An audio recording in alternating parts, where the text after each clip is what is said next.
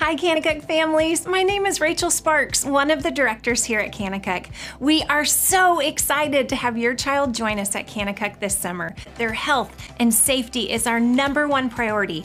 Since February, we have been working with federal, state, and local health officials to create a comprehensive COVID 19 health and protection plan to make this a safe and healthy camp experience. 1, 2, 3, 4, 5, 6, 7, 8, 9, 10, 11, 12, 13, 14, 15, 16, 17, 18,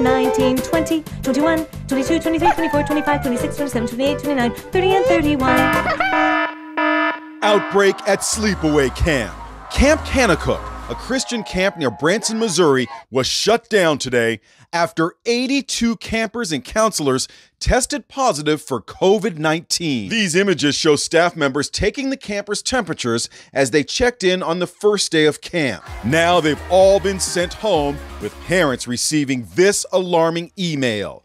We recommend that you consider a 14 day self quarantine for your child and monitor for symptoms of COVID 19. Sisters Delaney and Lauren Warner attended the camp just before the outbreak. Their dad, Graham, says the camp took every precaution. I'm not sure what else they could have done. They had doctors and nurses uh, that were going to be staffing in case of outbreaks or any other injuries. They had protocols in place for social distancing.